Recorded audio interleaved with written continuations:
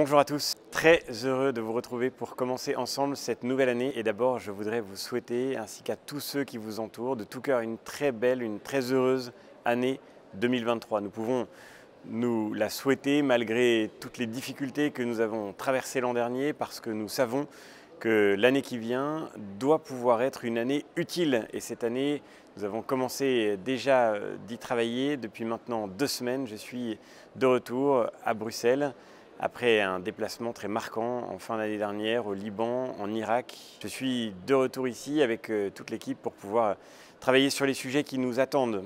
La semaine prochaine, nous aurons une session plénière à Strasbourg marquée par de très nombreuses questions, bien sûr euh, toutes celles qui sont liées à l'actualité internationale, aux conséquences de la guerre en Ukraine ou de la situation en Iran, mais au-delà de ça, bien sûr, toutes celles qui touchent directement nos pays, notre pays, la question notamment des prix de l'énergie et j'aurai l'occasion de revenir de manière détaillée la semaine prochaine sur un sujet absolument majeur et un événement, je crois, très révélateur qui s'est déroulé dans les dernières semaines ici au Parlement européen. Je vous en dirai plus. Je voudrais vous donner un rendez-vous la semaine prochaine à la fin de la session plénière, le 19 janvier, jeudi prochain.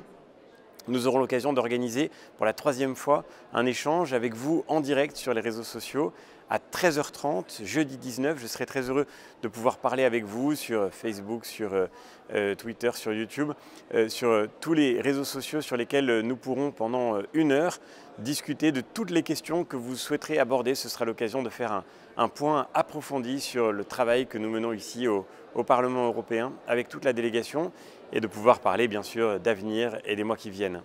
Ce sera une grande joie de partager cette année avec vous et pour commencer de vous retrouver la semaine prochaine, rendez-vous jeudi prochain. Merci beaucoup.